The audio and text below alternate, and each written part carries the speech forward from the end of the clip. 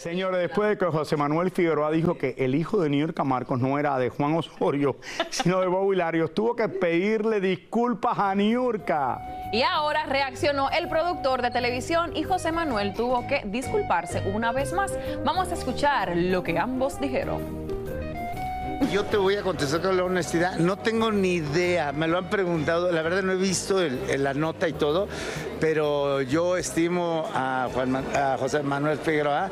Fui muy amigo de su papá y, yo no voy a prestarme a comentar. No sé ni qué dijo ni me interesa saber. Jamás pensaría de un mal comentario de él hacia mí.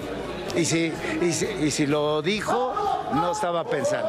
Lo repito de nuevo, la regué, un reportero, pero bueno, no, este, yo a Juan Osorio le mando un beso, lo amo, es, un gran productor, un gran talento, un gran amigo, una persona con la que he podido brindar y, filosofar de la vida y del amor y de la decepción también, del dolor del corazón.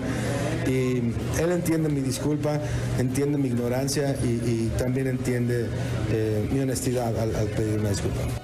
Bien diferente eh, Juan Osorio y Niurka Marcos, cómo reaccionaron. Muy- Obviamente, Sí. obviamente. Pero bueno, Bueno, y es para que Juan Osorio se parece- enoje también. Sí, claro, totalmente, sí.